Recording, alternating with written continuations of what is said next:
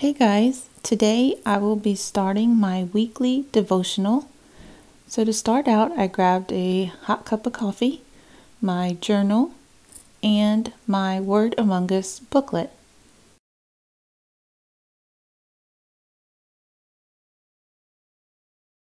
The scripture reading for today said, Your care for me and your generous welcome are a sign of your love for Jesus and your faithfulness to Him. And in this booklet, I found that it says here God rejoices when we give our time, our treasure, and our talents in service to His people. Our acts of generosity move His heart, and He responds by pouring out His grace. And here it also says Pope Francis keeps urging us to give, to reach out, and to show God's love. Now I pulled out my journal and I started working on the template that I created. I began by writing the scripture quote and then I started to look here on the side. It says prayers for others. And right away, I thought of my sister. She's currently working on her dissertation for her PhD, so we wanted to include her in our prayers as she finishes up this long journey. Next, I want to say a prayer for my friend Danae, who is currently working through a difficult pregnancy, and I'm just praying for a safe and healthy baby to be born. And lastly, I watched a video this morning by Broke and Over It here on YouTube, and it looks like their family is just having a bit of a tough week. So I'd like to add her to my prayers, although I don't know her personally. I do know the struggles, so I want to just say a prayer for her as well.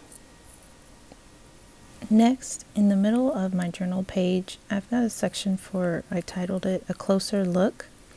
And during the homily today during Mass, I think our priest made a good point. He said that we should look at being more of a prophet, and not only in the words we use, but also through our actions.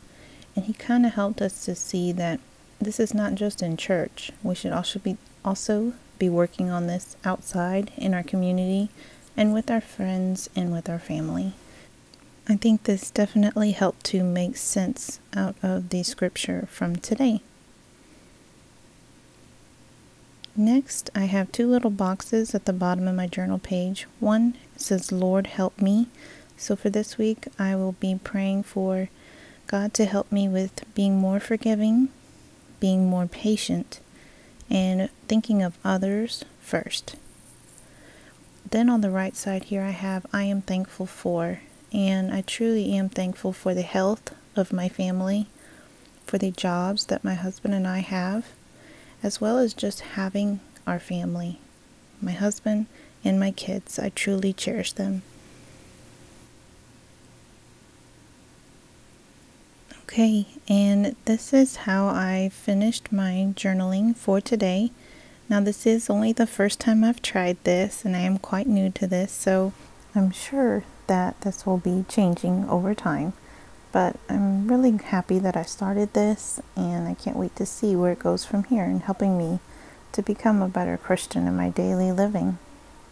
Thank you guys so much for watching and I hope you all have a wonderful week. Bye.